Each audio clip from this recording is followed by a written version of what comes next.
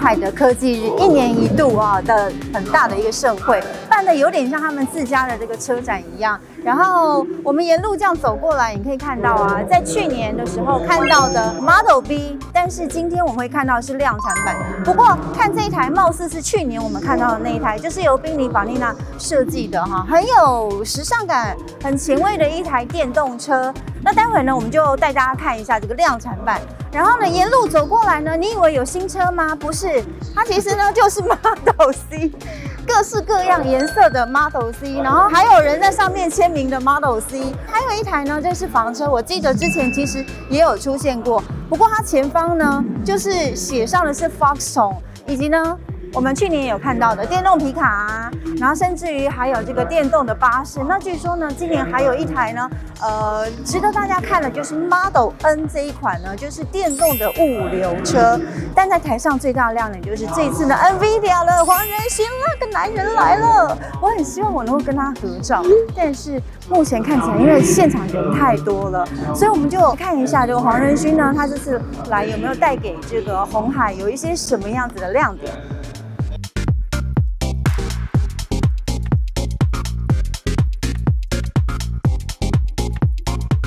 大家赏车前呢，我先跟大家说一下，我们今天进来的时候就拿到两样东西，一个是这个，就是媒体证，然后另外一个呢就是这个无线的耳机。然后因为我其实自己蛮多的无线耳机，所以我决定把这个红海科技送给大家的伴手礼呢，就直接送给我们这个支持我们频道的网友。影片的最后我们会告诉大家有什么样的问题。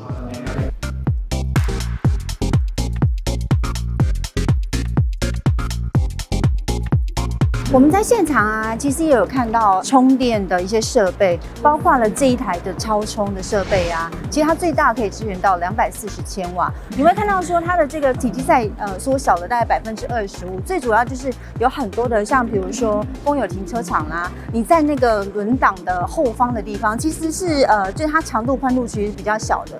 那这台机器它其实是可以完全对应到一些那个什么公共停车场啊，它的这个后挡的部分，它都可以放得进去，而且它的散热也比较好，体积也比较小。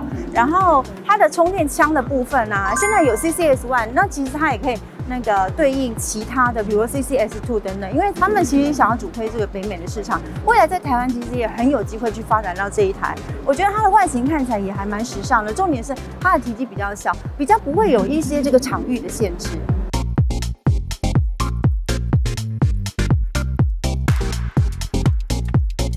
我们来体会这个智慧驾驶的座舱，其实这个界面大家应该都觉得蛮熟悉的。呃，两个十二点三寸的荧幕啦，副驾也有一个荧幕啊。其实很多的车现在已经都有了，但是它比较特别的是，例如像我们在做导航系统的时候，现在双 B 都可以做到 AR，就是虚拟座舱。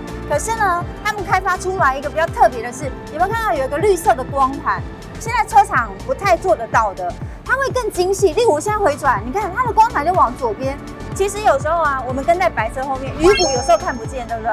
可是它用光毯来协助的话呢，你就比较更不容易迷路。还有另外一个东西呢，因为他们是用三 D 去电脑去演算出来的，例如像这个 Power Flow。现在目前我好像还没有看到有人可以看，比如说目前车辆的一个电啊，就是能量流的状态，可以这样子哎，它甚至于连可以底盘都可以看得到哎，这个还蛮厉害的耶。那甚至于他们也有支援这个 OTA，我是觉得，嗯，现在车厂好像都有自己配合的单位，是不是能够打进一些传统车厂的话，我觉得其实还有待时间来考验。红海集团下面其实有很多的这个就是其他的业务，例如像夏普。然后我看到这个东西蛮特别的，比如说像副驾，我现在追剧的时候，因为法规的关系，就是说我们在呃车上啊不能够看一些影音的系统嘛，对不对？可是副驾没事干啦，这时候呢，你看我驾驶座的这个地方，我这我站在这里哦，我看到的是导航，然后呢，我在副驾这个地方呢，我看到的是剧，哎。所以这同一个荧幕，你可以做很多事情。那有些人想说，那老婆大人在追剧的时候，可是如果说我驾驶座，我想要做一些其他操控啊的时候呢，它会不会影响到他追剧呢？其实他们也可以克制化，呃，利用一些旋钮啦，甚至于用影音控制的方式，让驾驶座可以控制这个荧幕上面的其他的功能。我觉得这个还不错哎，这跟我们之前是有忘了是 EQE 还是什么，就是它有一边在使用荧幕的时候，就是导航的时候，好像有三个还是几个快捷键，就是可以方便你去使用的时候，不会去影响到你的导航系统。哎，但是这个是更聪明的。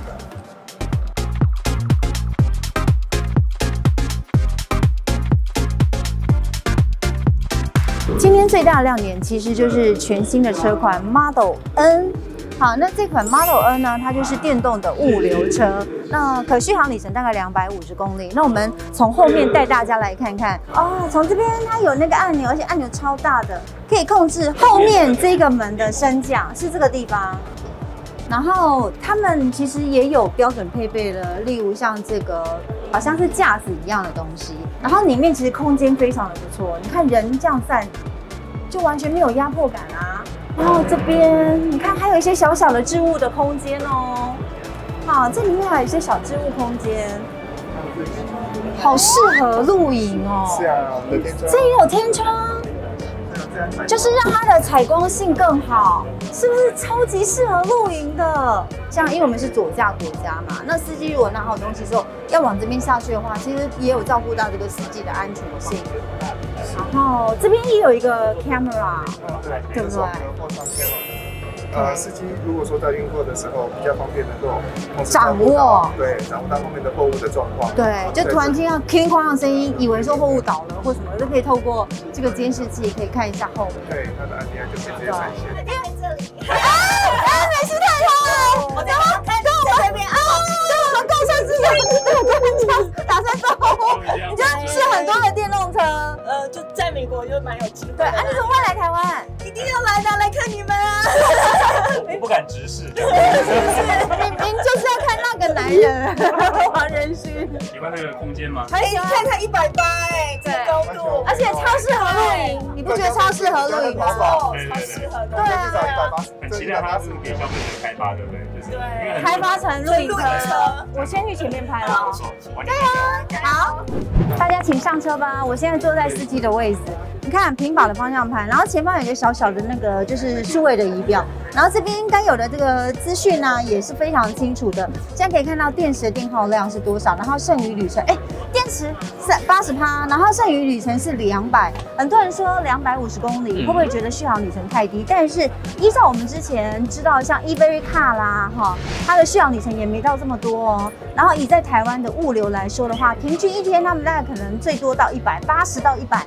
所以今天你比如说我跑了八十一百公里之后，我就回公司去充了。所以每天呢，你就基本上不用太有这个所谓的里程焦虑。在这种物流车上面，我觉得非常足够了。那看一些小小的亮点哦，哦，它前面这边有放了一个那个放置手机的地方。然后来看到这个餐盘没有？还有一个自备架，好可爱。这个餐盘我看 L 六好想要哦。所以司机可以非常轻松。空间非常好的，在车上呢可以好好的用餐。下面呢，它也可以有一个置物的空间，你可以放你的饮料，全部都可以放在这个地方。以为只有一个位置吗？其实它是有两个位置的。这个副驾的地方也是可以这样子打开来，然后坐下来的。然后它其实有很蛮多的置物空间，这边也有，然后前面有很大的置物空间。然后甚至于呢，在后方这里，它也可以挂帽子。哇，这台车很棒哎。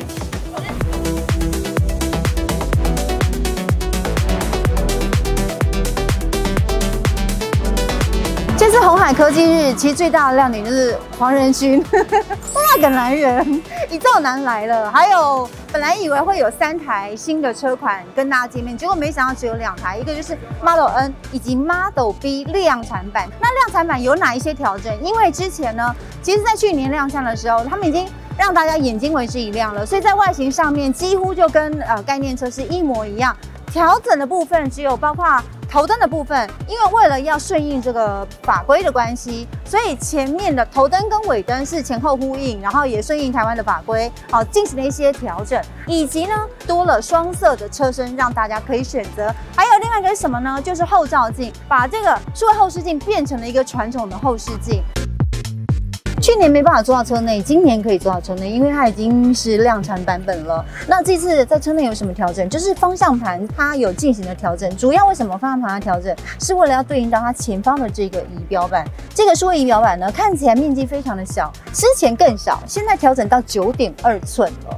那我们之前试那个 Mark E 的时候，不是说十点二寸，有人说太小吗？其实我觉得这个只是辅助，最主要的功能都是在中央资讯幕这个地方，十五点六寸。等于是那个电动野马，它直接把它从变成横的。那里面呢，我们刚才其实稍微操作了一下，哎，它其实你知道吗？就是好吧，呃，那画质目前看起来也是还不错的。那动画的部分呢，其实做的也还还可以，还行。好，那车内大概就是这样，悬浮式的一个中央扶手。啊，那还有座椅的部分，他们也进行了一个调整。然后在它的续航里程的部分，是说 NEDC 测试已经超过了五百公里的续航里程。那也说跟之前呢，他们测试的时候提升了百分之十的一个功效。那其实就是跟呃现在的纳智捷的 N7 是差不多的一个功率。那我们看一下后座的空间，哎，还好后座椅背可以调整的，你看。这个是比较挺的，然后我现在是最躺的姿态，目前这样子的感觉是还不错的。可是呢，说实话，有点坐小板凳儿的感觉，有没有？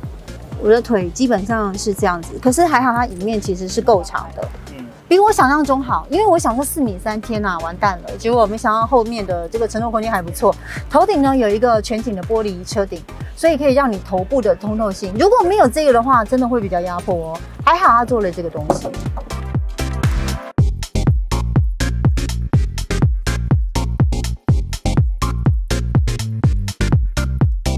舞台上呢，这一台 Model C 大家非常熟悉，也就是纳智捷的 N7。那现在呢，呃，根据我们得知的消息是呢，N7 目前转为正式的订单，已经有超过五千张的订单了。那大概定七人座的有百分之二十五，然后有六成以上。都是定呢最入门那个九十九点九万的，我觉得这些消费者是很聪明的，因为百万之内你唯一可以买到电动车，也就是这个纳智捷的 N7。那当然呢，它的续航里程就像我们刚才讲的，Model B 其实跟 Model C 一样的续航里程，说已经超过五百呃公里的 NEDC 嘛。那实际上我们给它打个七折，其实有可能四百不到。那我们其实得到最新的消息就是呢，纳智捷的 N7 它的电池度数是五十八度，然后最高的充电功率一百五十千瓦，所以呢，十趴到八十趴仍然充电。可以在三十分钟左右完成。好，那我们今天要送给大家的无线耳机呢，非常简单，就是你今天看了红海科技日，虽然我们是快闪啊，有一些东西都只是沾到沾到而已。那你觉得哪一个部分呢是最大的亮点？例如像有一些科技面的东西，你看到很多那种荧幕的新科技，或者是说他们这一次的这个 Model N 或者是 Model B 量产的，或者是说你看到你觉得 N7 或者什么巴士之类的，你都可以写在影片的下方。你觉得哪一个桥段是最有亮点的？那我们会选择给幸运的朋友，把无线耳机送给你哦。